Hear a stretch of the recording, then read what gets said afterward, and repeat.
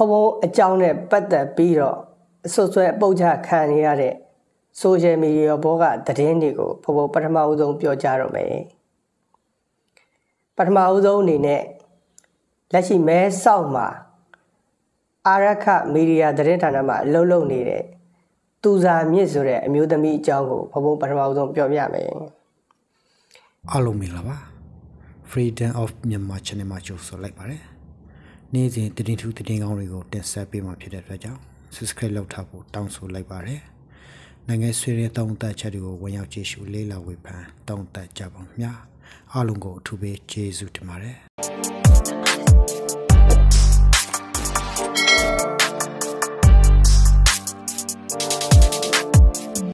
အဲ့ဒီသူစာမြင့်ဆိုတဲ့အမျိုးသမီးဟာ သူဘာတွေလုပ်ခဲ့တယ်ဆိုတာတော့ဖုံဖုံမသိဘူးဒါပေမဲ့ဖုံဖုံနဲ့ပတ်သက်တဲ့စာရင်တဲ့ကိစ္စကိုပဲဖုံဖုံပြောပြမယ်ပထမအဦးဆုံးຫນွေဥတော်လည်းရေး light 2ဆိုတာဖုံဖုံရဲ့ຫນွေဥတော်လည်းရေးဆရာတော်ပေကနှစ်ခုရှိတယ်เนาะနှစ်ခုရှိတယ်1နဲ့2နှစ်ခုရှိတယ်ຫນွေဥတော်လည်းရေးဆရာတော် light 2မှာဘဘုတ်ကိုပထမဦးဆုံးစာပို့ခဲ့တယ် ဘာသာပို့ခဲ့လဲဆိုရင်ဟယ်လိုအရှင်ဖေဟာတဲ့ဖဘုတ်ကလည်းဟုတ်ကဲ့လို့ပြောပါတယ်အဲ့ဒါနဲ့သူကဖဘုတ်ကိုအကောက်တစ်ခုလင့်ချပေးတယ်ဒီ ACC ကဒီအကောက်ကအရှင်များအကောက်လားလို့မေးပါတယ်ဖဘုတ်ကမဟုတ်ဘူးနော်လို့ပြန်ပြောခဲ့တယ်အဲ့ဒါနဲ့သူကဘယ်တော့ကမှတ်မသိတဲ့တော်တော်ကြာနေပြီဖြစ်တဲ့စခွင်လျှော့တွေကိုဖဘုတ်ကိုပို့ပြတယ်အဲ့ဒီစခွင်လျှော့တွေက လင်မယားကိစ္စပြောထားတဲ့စကားတွေဖဘုံကသူ့ကိုဒုက္ခလို့ရေးပြီးတော့မှဖဘုံရဲ့အကောက်အစ်စ်ကိုသူ့ကိုပို့ပေးလိုက်တယ်ပေါ့နော်ဒါကဖဘုံအကောက်အစ်စ်ပါဆိုပြီးသူ့ကိုပို့ပေးလိုက်တယ်အဲ့ဒါကပထမဦးဆုံးအကြိမ်ဖြစ်တယ်ဒုတိယအကြိမ်သူစာမြစ်ကဖုံမိုးကိုအင်တာဗျူးကျင်လို့ဆိုပြီးတော့ဖုံအကောက်အစ်စ်ကနေပြီးတော့ စကားပြောဆက်သွယ်လာပါလေအင်တာဗျူးခြင်းလို့ဆိုပြီးတော့အဲ့ဒီ date ကိုကြည့်လိုက်တဲ့အခါမှာဇူလိုင်လ24ရက်နေ့9နာရီနဲ့40 AM ဖြစ်ပါတယ်နော်ဇူလိုင်လ24ရက်နေ့9နာရီ40 AM ဖြစ်ပါတယ်အင်တာဗျူးလက်ခံလာလို့ဖမုတ်ကိုပထမဦးဆုံးစာပို့တယ်ဖမုတ်က အင်းလက်ခံတယ်ဆိုပြီးပြန်လည်ဖြေကြားခဲ့တယ်ဟုတ်တယ်ဒါဆိုလို့ရှိရင်ဇွန်းနဲ့အင်တာဗျူးကျင်ပါတယ်တဲ့ဒီနေ့လောက်ရမလားတဲ့မေကွန်းလေးတွေလည်းကြိုးပို့ထားမယ်တဲ့ဆိုဖဖုတ်ကမေးပါတယ်သူ့ကိုဘယ်မီဒီယာကလဲဆိုတော့သူကဖုံဖုံကို The Arakan Expert News ဆိုတဲ့သတင်းဌာနကဖြစ်ကြောင်းဖဖုတ်ကိုသူကပြပေးပါတယ်ပြပြီးတော့ဖဖုတ်က သူမေးထားတဲ့မေးခွန်းနေနဲ့ပထမအဦးဆုံးအင်တာဗျူးဖြစ်တယ်နော်ပထမချိန်အင်တာဗျူးဖြစ်တယ်နောက်ဒုတိယတစ်ချိန်ရိုဟင်ဂျာဂျေနိုဆိုက်လူမျိုးတုံးတပ်ဖြတ်ခံရတဲ့6နှစ်ပြည့်နှစ်ပတ်လည်အခမ်းအနားမှာဘဘကိုအင်တာဗျူးခြင်းလို့ဗီဒီယိုလေးတစ်ပုဒ်တော့ရိုက်ပေးပါဆိုပြီးတော့တောင်းတယ်ပေါ့အဲ့ဒါက မှတ်မရရဆိုလို့ရှိရင်ဩဂုတ်လ25ရက်နေ့လောက်ကဖြစ်တယ်ပေါ့နော်ဩဂုတ်လ25ရက်နေ့လောက်ကဖြစ်တယ်ပေါ့အဲ့ဒါနဲ့ဘုံဘုံကအဲ့ဒီဗီဒီယိုလေးတပုတ်ရိုက်ပေးခဲ့တယ်ရိုက်ပေးခဲ့ပြီးတော့ဘုံဘုံတို့ဘာစကားမှဆက်ပြီးတော့မပြောကြတော့ဘူးအဲ့ဒါနဲ့ပဲဩဂုတ်လ26ရက်နေ့မှာ ဖုံဖုံနဲ့ပတ်သက်ပြီးတော့စခွင်လျှော့တွေတားပြောမရပြောထားတဲ့စခွင်လျှော့တွေကို Facebook ပေါ်မှာတင်ကြတယ်ပေါ့နော်ဘသူပဲဝါရီဆိုတာတယောက်ချင်းဖို့မပြောတော့ဘူးတင်ကြတယ်ဩဂုတ်လ26ရက်နေ့မှာအဲဒီလိုတင်ပြီးတော့စက်တင်ဘာလ1ရက်နေ့မှာအဲ့ဒီအာရကန် expert နေယူတည်င်းဌာနက သူစားမြစ်ကထူးထူးဆန်းဆန်းဖုံးမုတ်ကိုစာပို့လာတယ်။ဘာစာပို့လာလဲဆိုရင် ဖုံးခဏဆက်မယ်နော်တဲ့။ဖုံးမုတ်ကဟုတ်ဆိုပြီးတလုံးနဲ့ပဲသူ့ကိုပြန်ပြောလိုက်တယ်အဲ့ဒါနဲ့သူဖုန်းခေါ်ပါတယ်ဖုန်းခေါ်ပြီးဘာပြောသလဲဆိုတော့ဖုန်းမလုံးဝမထင်ထားတဲ့စကားတစ်ခုကိုသူပြောလာတယ်မဲဆောက်မှာထမင်းဆိုင်ဖွင့်ဖို့အတွက် ငွေလိုနေလို့တဲ့ဖဖိုးအနေနဲ့ရှယ်ယာဝင်ပေးပါလားတဲ့ဆိုပြီးတော့ဖုံးဆက်ခဲ့ပါတယ်ဖုံးဆက်ခဲ့ပါတယ်အဲ့ဒါနဲ့ဖဖိုးကအင်မတန်မှအံ့ဩသွားပြီးတော့သူ့ကိုပြန်ပြောပါတယ်ဖဖိုးထိုင်းနိုင်ငံမှာတရားဟောနေတာ၄လကျော်၅လရှိခဲ့ပြီဘဲကရရှိတဲ့ပတ်စံတွေကိုဘဲကိုပို့ကြောင်းတကြက်မကြံပို့ကြောင်း တိတိကျကျခိုင်ခိုင်မာမာနဲ့ကိုဘုံဘုံတင်ပြထားတယ်စုစုပေါင်းဘုံဘုံထိုင်းနိုင်ငံမှာတရားဟောလို့ရရှိခဲ့တဲ့ပတ်စံတီသိန်းပေါင်း1200ရှိသွားပြီအဲဒီသိန်းပေါင်း1200လုံးကိုဘဲကိုပို့ခဲ့ကြောင်းဘုံဘုံ Facebook မှာတစ်ခုပြီးတစ်ခုတစ်ခုပြီးတစ်ခုကိုဘဘပြည်သူတွေကိုရှင်းရှင်းလင်းလင်းတင်ပြထားပြီးသားအဲ့တော့ဘဘကသူစားမြစ်ကိုပြန်ပြောလိုက်တယ်ဖုံးဖုံးမှာ ပတ်စံမှာမရှိတာဘယ်လိုလုပ်ပြီးတော့ထမင်းဆိုင်တွေကိုရှယ်ယာဝင်လို့ရမှာလဲလို့ပြန်ပြောခဲ့တယ်အဲ့ဒီချိန်မှာဘဘတို့ဖုံးချလိုက်တယ်ဖုံးချလိုက်ပြီးတော့ဖုံးဖုံးကငါ့ကိုသူဘာလို့အဲ့လိုစီးပွားရေးလုပ်ဖို့ကမ်းလှမ်းတာလဲငါ့ကိုစခွင်ရှော့တွေနဲ့ Facebook ပေါ်မှာတိုက်ခိုက်နေကြတာအဲ့ဒီလိုအချိန်မှာဘာဖြစ်လို့ငါ့ကိုစီးပွားရေးလုပ်ဖို့ကန့်လန့်ခဲ့တာလဲဒါမရိုးသားဘူး လူဦးတော်လိုင်းဆရာတော်ဟာပြည်သူလူထုလှူဒန်းနေတဲ့ငွေတွေနဲ့တရားဘက်ကရရှိတဲ့ဓမ္မပူဇာငွေတွေနဲ့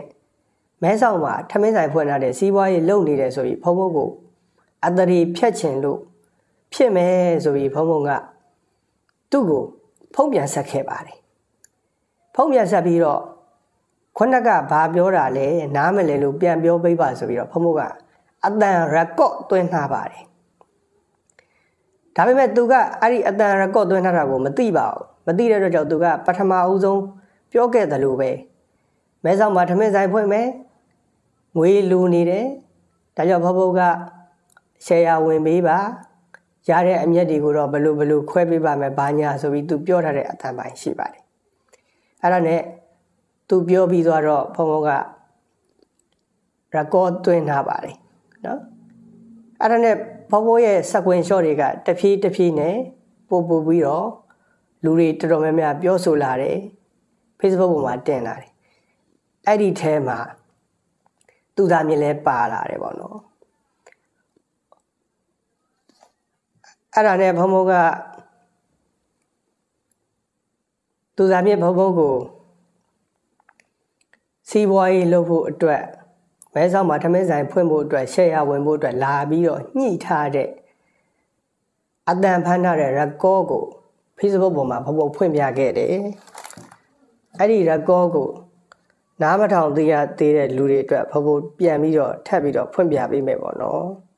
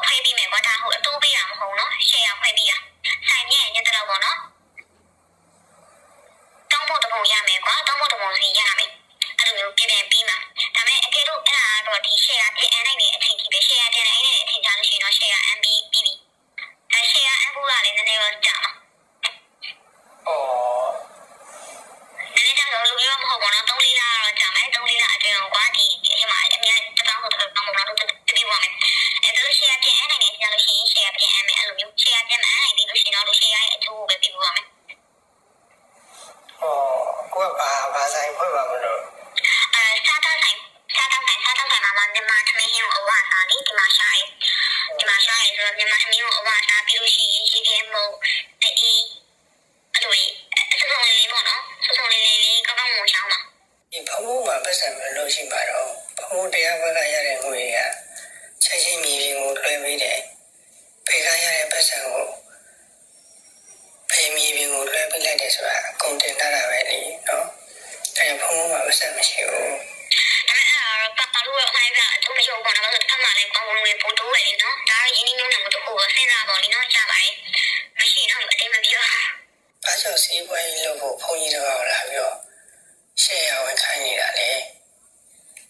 အဲ့ဒါဘယ်သူပြောခိုင်းတာလဲခန့်ကိုပြောခိုင်းတာလားဟလား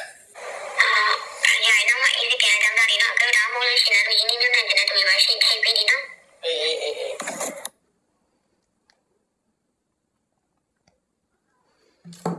ဒီအတန်ပိုင်းကတကယ်သူစာမြင့်ဖုံဖုံကိုထမင်းဆိုင်ဖုံဖုံအတွက်လာရောက်ကမ်းလှမ်းထားတဲ့အတန်ပိုင်းအစ်စ်ဖြစ်တယ်။အဲ့ဒီအတန်ပိုင်းကိုဖုံဖုံက Facebook ပေါ်မှာတင်ခဲ့တဲ့အတွက်ကြောင့်သူစာမြင့်ကဖုံဖုံကို ဖုံဖုံရဲ့ page messenger ကနေလာပြီးချင်းချောက်ပါတယ်။ဘလို့ချင်းချောက်တယ်လဲဆိုဖုံဖုံဖတ်ပြပါမယ်။အတန်ပိုင်းကို မတရားတင်တယ်နော်တဲ့ပြန်ဖြတ်ပြီးအေးဆေးနေပါတဲ့တကယ်လို့ပြန်ဖြတ်ပြီးအေးဆေးမနေခဲ့ဘူးဆိုရင်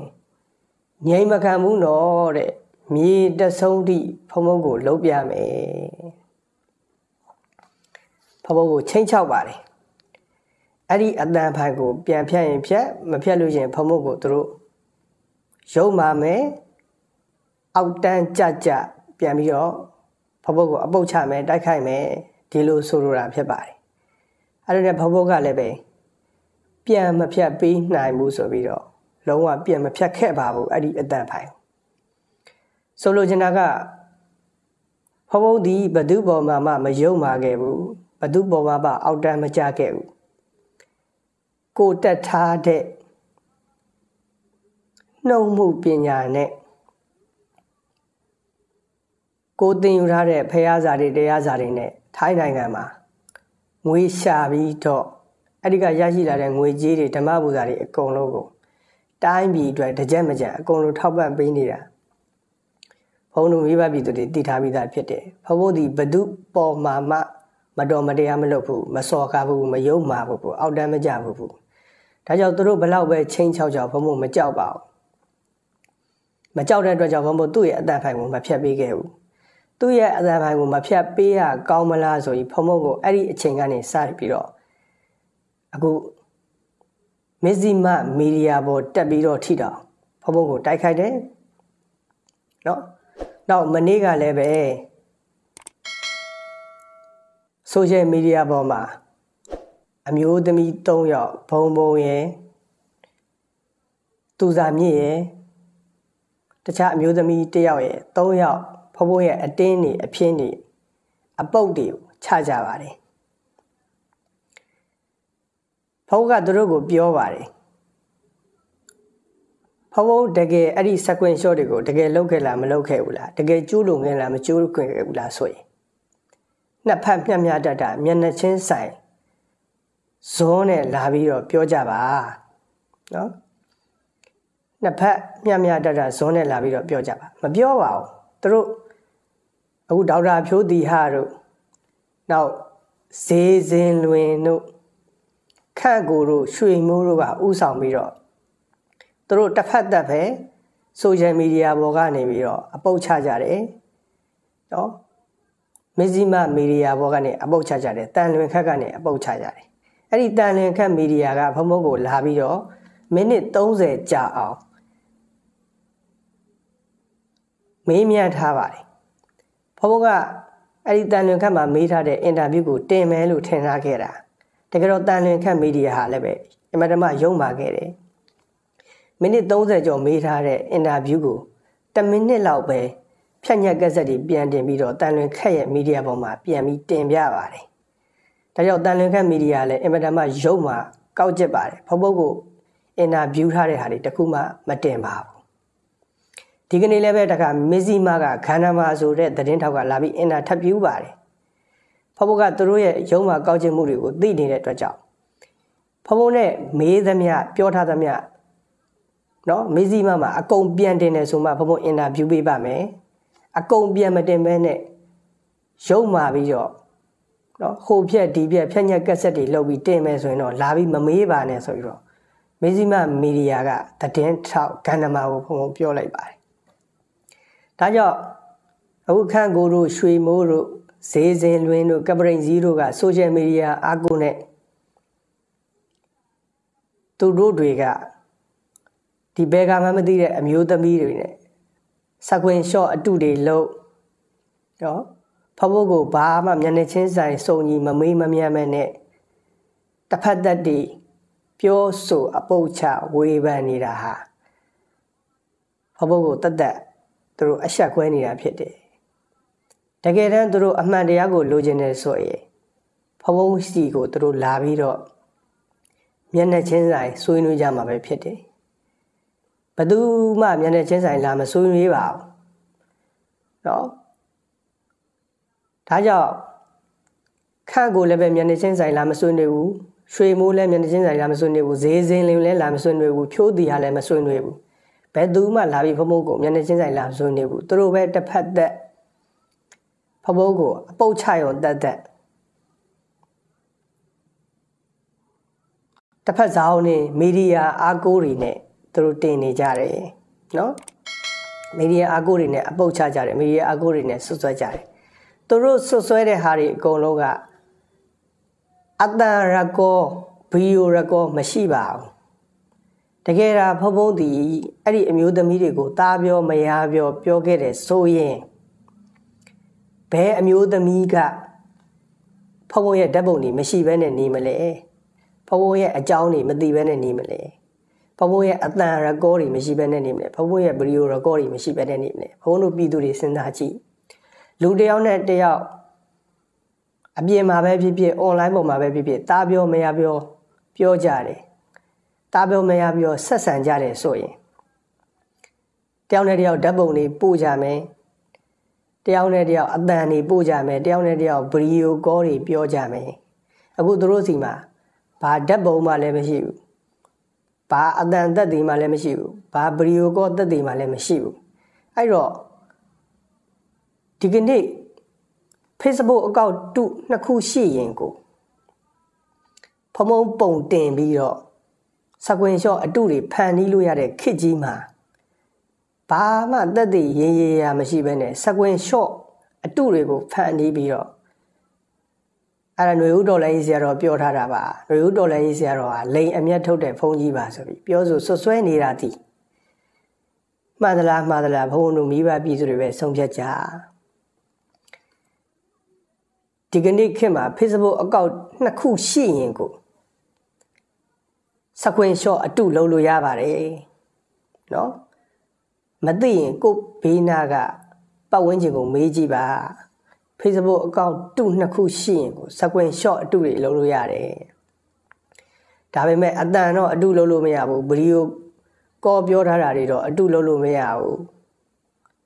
ဒါကြောင့်ဘုန်းတို့မိဘပြည်သူတွေပဲစဉ်းစားကြည့်ဆုံးဖြတ်ကြည့်ဒီအမျိုးသမီးတွေဟာ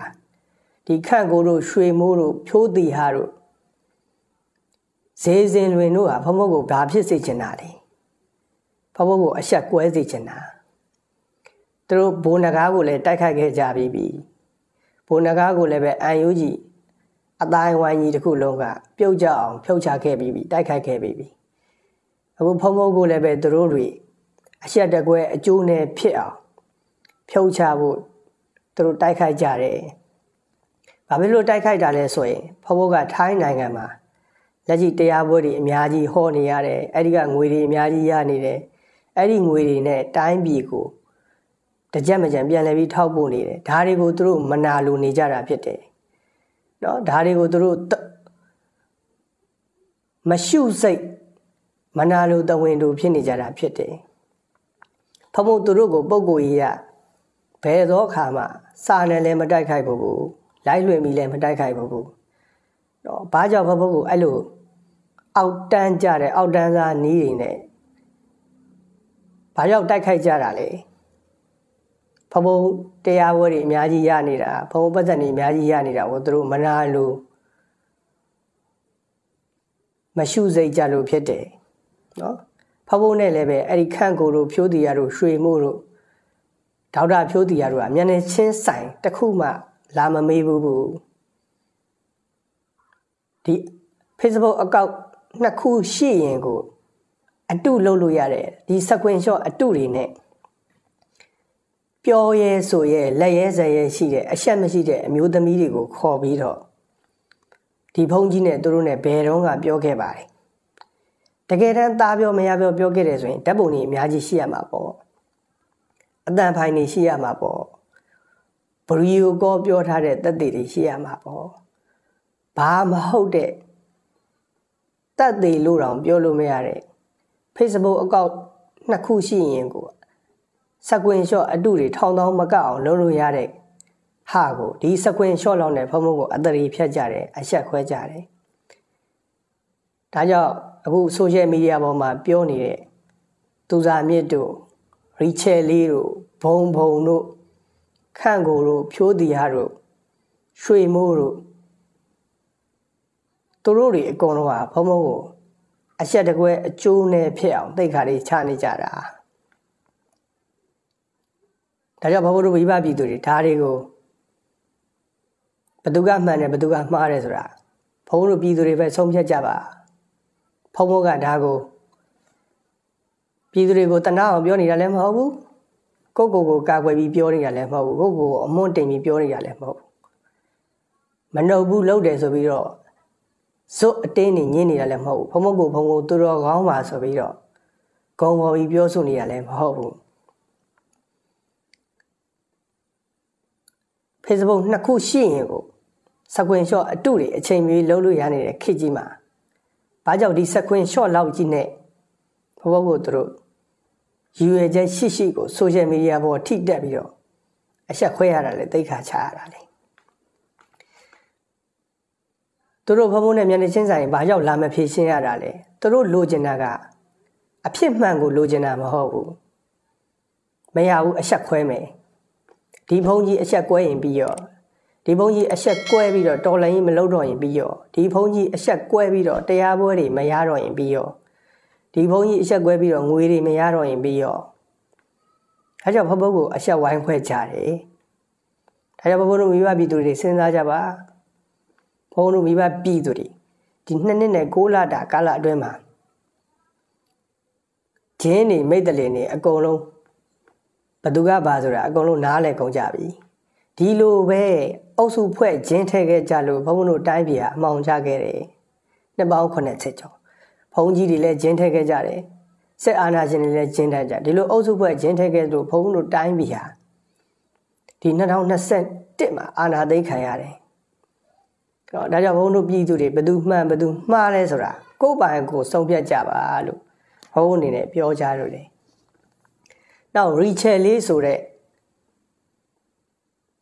မိန်းကလေးတယောက်အသက်မပြည့်ဘူးလို့တော့ပြောတယ်ပေါ့နော်